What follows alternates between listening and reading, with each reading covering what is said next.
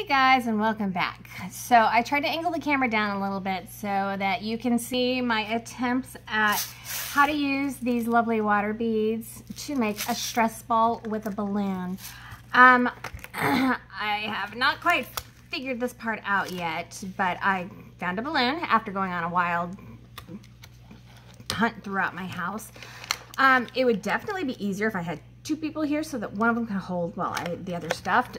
But I am going to attempt to open the balloon and drop some of these suckers in without squishing them. So you see I got all of these lovely little gel um, squishy balls.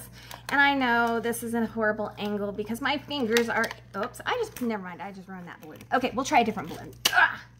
Okay, so balloon number two because I poked my finger right through the last one. So um, I got to take this thing that allows me, you know what, maybe I should do that first.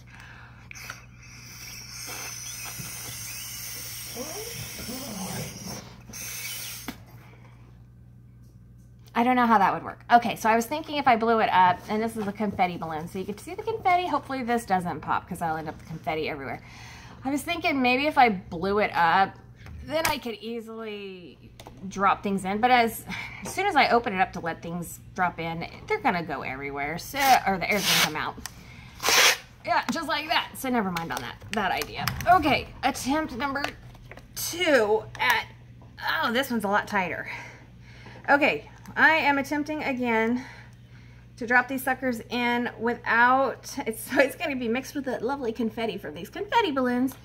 All right, so like I said before, definitely probably easier with somebody else helping you, but we are attempting, um, almost unsuccessfully, to cram a bunch of these little gel balls, whoops, I'm almost losing them now, they're falling, they're bouncing, into a balloon in an attempt to create a stress ball.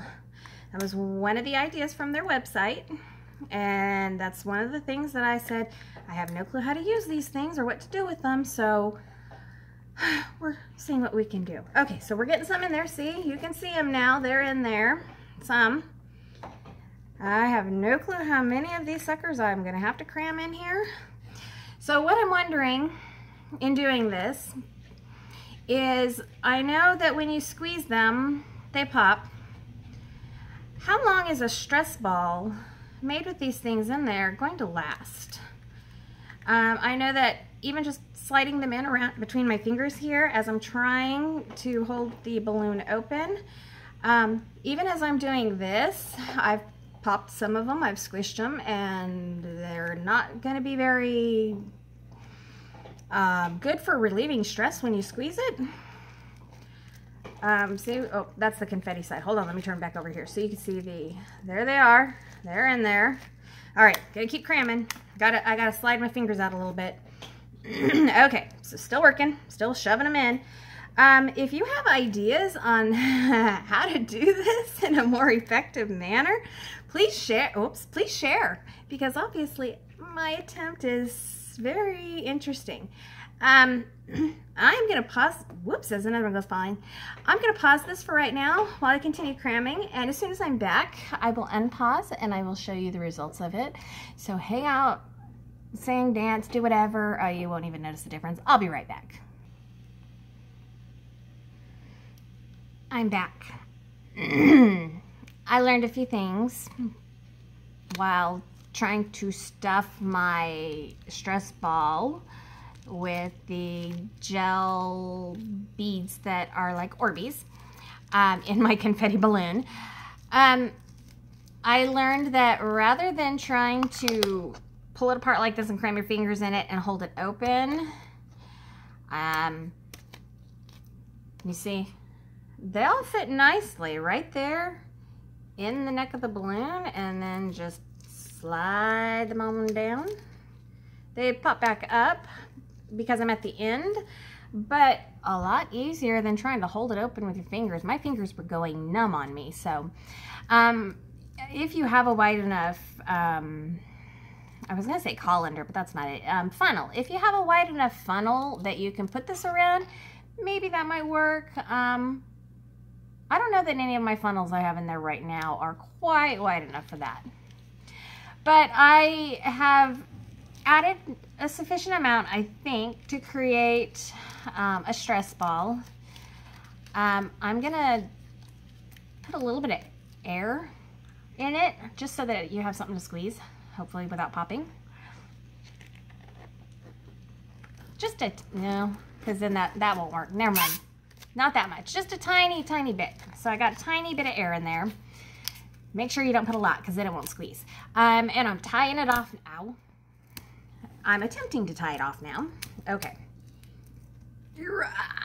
Okay, got it tied. Okay. so you see, I still have a little little pocket of air in there that they're trying to bounce up between. But now I've got enough that I can squeeze. Ooh, you can feel them sliding between your hand. So far, I don't feel any of them popping because of the air that is in there. Try not to use my fingernails to pop it. But you see a DIY textured stress ball that is honestly oddly satisfying even with the confetti.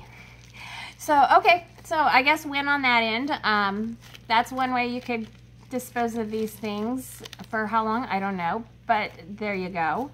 Um, so go get some dollar store balloons and have your kids poke a bunch of them in and then everybody can have their own stress ball for cheap. Considering you get 50,000 of these little suckers in this container. Um, so yeah, um, check out the, if you missed the video where I was actually sharing this and saying, what do I do with this big old monster tub? Um, make sure you check out the description below because I'll have a link back to that video. Um, I'm going to go attempt something else and see how it looks. And if it looks good, um, I might make another video on it. I don't know. I, I might just take pictures of it. So check out the written, um, the description, the check out the link in the description below to see the written review, to see all the pictures of things. I'll take a picture of this and put it on there as well. Uh, maybe might even do a little DIY how-to of how to make these with these suckers. So um, check that out. I'll have all of that in the description below. Um, give me a like. Make sure you subscribe. Check out other things that I would try out and other things that I do with kids and on my own. Right now the kids are all at school, so mom's experimenting and playing. And um, come back again soon and see what else there is. Thanks for watching. Bye.